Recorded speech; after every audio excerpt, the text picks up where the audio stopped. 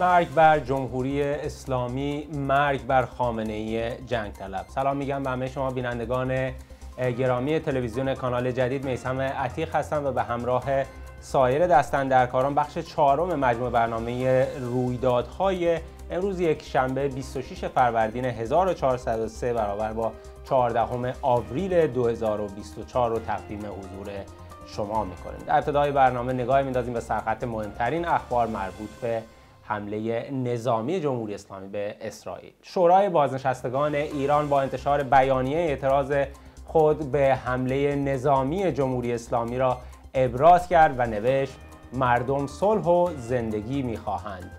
از جنگ و مرگ و ویرانی بیزارند. لعنت بر جنگ و جنگ افروزان. در خبر دیگه داشتیم که سازمان اطلاعات سپاه با انتشار بیانیه‌ای نوشت با کسانی که در شبکه های اجتماعی به حمله نظامی جمهوری اسلامی اعتراض کنند برخورد قاطع خواهد شد. اما یوآف گالانت وزیر دفاع اسرائیل ساعتی پس از جلسه کابینه جنگ گفت حمله جمهوری اسلامی فرصتی برای ایجاد ائتلاف علیه تهران است.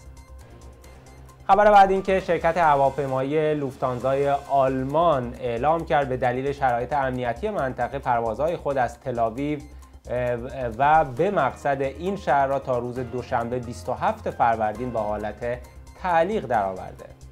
و خبر آخر این که هفته نامه اکونومیست در شماره امروز یک شنبه 26 فروردین خود نوشت حمله جمهوری اسلامی به اسرائیل از نظر نظامی یک شکست.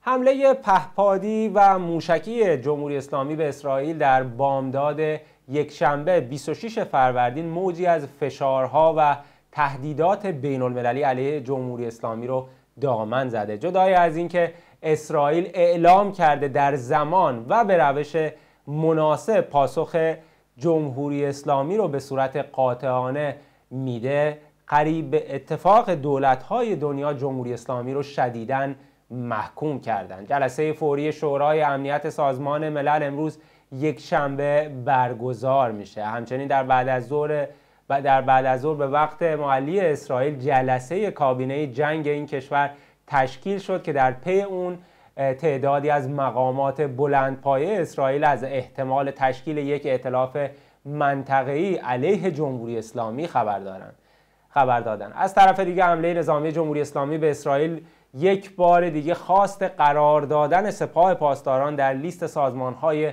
تروریستی رو به صورت جدی در فضای بین المللی مطرح کرده و بخشهایی از اپوزیسیون از جمله حزب کمونیست کارگری هم این حمله رو به عنوان یک سند دیگه ای تعبیر کردند که به, که به واسطه اون دنیا باید جمهوری اسلامی رو بایکوت کنه. در برنامه امروز می‌خوایم به این فضای ایجاد شده بین المللی علیه جمهوری اسلامی بپردازیم و ببینیم که ادامه این روندی که پس از حملات جمهوری اسلامی آغاز شده چه می‌تونه باشه؟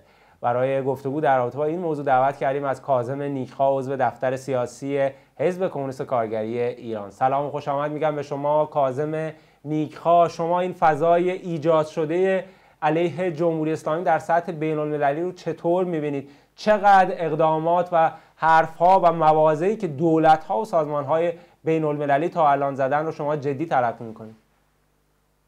با درود به شما و همکارانتون و بینندگان عزیز. خب تو سطح بین المللی جمهوری اسلامی همیشه یک حکومت منزوی بوده و امروز با توجه به حمله که صورت داد همطور که گفته شد یه اطلاف یک اتحاد بین المللی علیه جمهوری اسلامی داره شکل می‌گیره.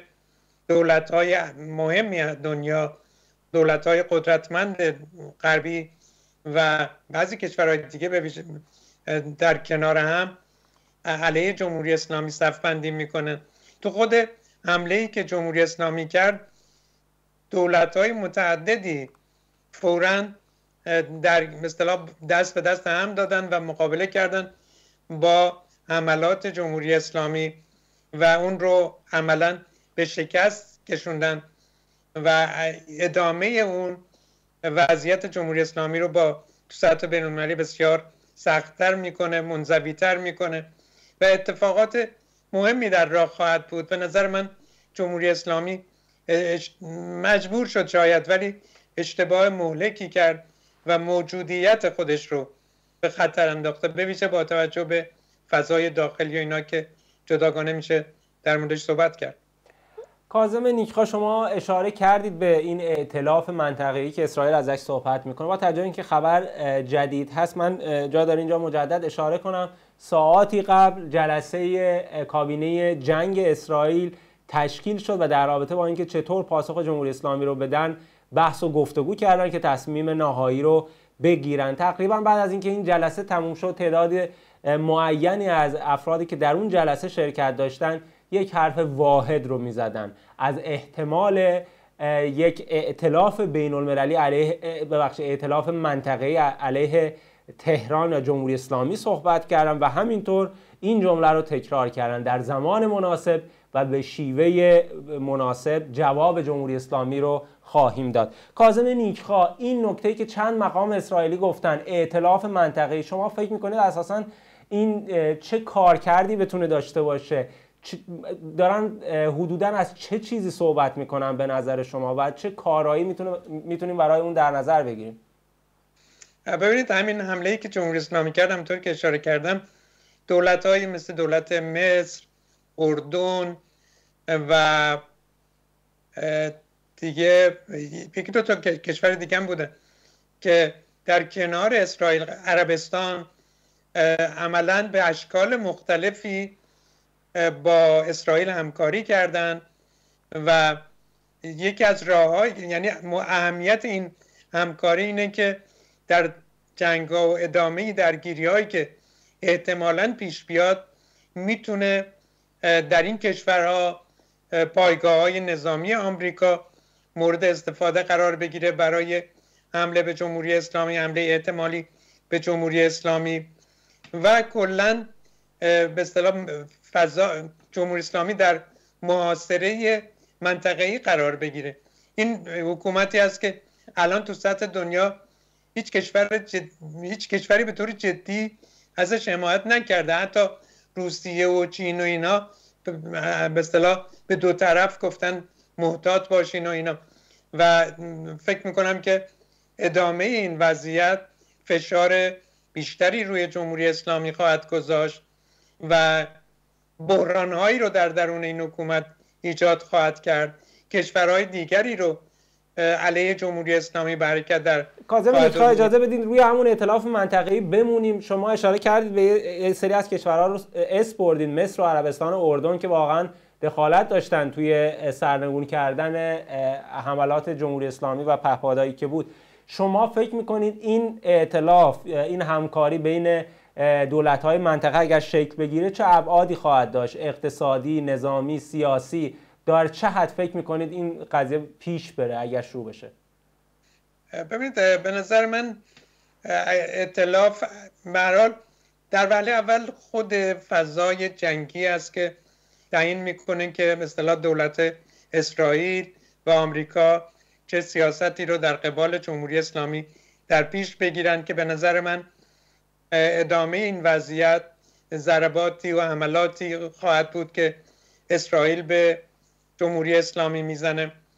و تو سطح منطقه اگر این وضعیت جنگی ادامه پیدا کنه اعتلاف منطقی علیه جمهوری اسلامی هم دیپلماتیک است. یعنی به باعث انزوا و فشار روی جمهوری اسلامی خواهد شد تو سازمان ملل تو سازمان های مختلف تو سطح بین المللی تو کشورهای مختلف و تاثیر می‌ذاره که بله. این اطلاف اصطلاح انزوای جمهوری اسلامی بایکوت جمهوری اسلامی رو فعالتر کنه بیشتر پیش بره از نظر نظامی همطور که اشاره کردم پایگاه که تو این کشورها هستن می‌تونه مورد استفاده بله. این دولت ها قرار بگیره و کلا وضعیت جمهوری اسلامی رو از این نظرها و از جنبه های مختلفی به طور جدی به خطر میاندازه و همین الانش هم به خطر انداخته. یعنی وضعیت جمهوری اسلامی وارد یک فازی شد که دیگه قابل برگشت به عقب نیست. کاظم حتما... در همین رابطه اتفاقا سوالی از شما دارم. جمهوری اسلامی تا همین الان قبل از این حمله اوضاع خیلی بدی داشت تو سطح بین المللی انزوا و فشارهای زیادی روش بود. قطنامه پشت قطنامه علیهش صادر می‌شد و خصوصا بعد از سرکوب هایی که تو انقلاب زن زندگی آزادی انجام داده بود. و دو تا سیاست مشخص قرار دادن سپاه پاسداران در لیست سازمان های تروریستی و همینطور بایکوت جمهوری اسلامی هم طی سالهای اخیر از سوی اپوزیسیون جمهوری اسلامی به صورت موازی به پیش می‌رفته. شما فکر می‌کنید این حمله ای که جمهوری اسلامی انجام داده چه تأثیری روی این دو تا سیاست مشخص بذاره؟ بایکوت جمهوری اسلامی و قرار دادن سپاه در لیست سازمان های تروریستی. به نظر من این وضعیت که پیش اومده کلا بایکوت جهانی جمهوری اسلامی رو بسیار محتمل می‌کنه. ولی اوضاع تو همین سطح نخواهد موند. یعنی مسئله به سمت بایکوت جهانی جمهوری اسلامی میره. و در ادامهش یا در موازی با کلا ما شاهد به اصطلاح تضعیف پایه های حاکمیت جمهوری اسلامی از همه نظر خواهیم بود. تو سطح داخلی فضا به سمت گسترش اعتراضات پیش میره. همین الان شما اشاره کردین به بیانیه شورای بازنشستگان خوش قانون صنفی معلمان موضع گیری کرده محکوم کرده. این جنگ رو و گفته این جنگ ما نیست و ما علیه این جنگ و جنگ طلبان هستیم. این فضای جامعه هست در داخل ایران که حتما گسترش پیدا می‌کنه و گسترش بایکوت جمهوری اسلامی فعال شدنش به این فضای داخلی و جنبش سرنگونی کمک می‌کنه و اینا به هم پیوند وسیع مثلا فعالتری خواهند داشت پیدا کرد. و به نظرم اوضاع به سمتی میره که جمهوری اسلامی راه به بازگشتی نداره راه خلاصی نخواهد داشت حتی گفتم بله. می‌تونه هایی صورت بگیره یه مقطع مذاکره کنن جنگ تموم بشه ولی دیگه اوضاع به قبل بر نمیگرده جمهوری بله. اسلامی کاری کرد بر بعد از چهل و خورده سال که سر کار است که وارد از طریق خاک خودش حملات موشکی و غیری رو به اسرائیل آغاز کردن انجام داد. که بالاخره این حملات شکستی بود برای جمهوری اسلامی به نظرم. بله. ولی به هر حال وضعیت رو حکومت رو از نظر بقای حکومت رو زیر سوال می‌بره و تاثیرات جدی رو حیات جمهوری اسلامی می‌ذاره که قابل جبران نیست براش. به هیچ وجه قابل جبران برای جمهوری اسلامی نیست که وضعیت خودش رو از این خودش رو از این وضعیت بیرون بکشه. درود بر شما کاظم نیکخوا عضو دفتر سیاسی حزب کمونیست کارگری ایران. تشکر می‌کنم. بینندگان گرامی تلویزیون کانال جدید به پایان این بخش از برنامه رویدادها رسیدیم. حتما پای گیرنده هاتون بمونین همراه تلویزیون کانال جدید بمونین اخبار و گزارشات مختلفی که در رابطه با مسائل در ایران و همینطور مسائل مربوط به جنگ هست رو ما با شما در میون خواهیم گذاشت. تا اینجای برنامه من میسم عتیق به همراه سایر دستن در کاران بهترین ها رو براتون آرزو دارم.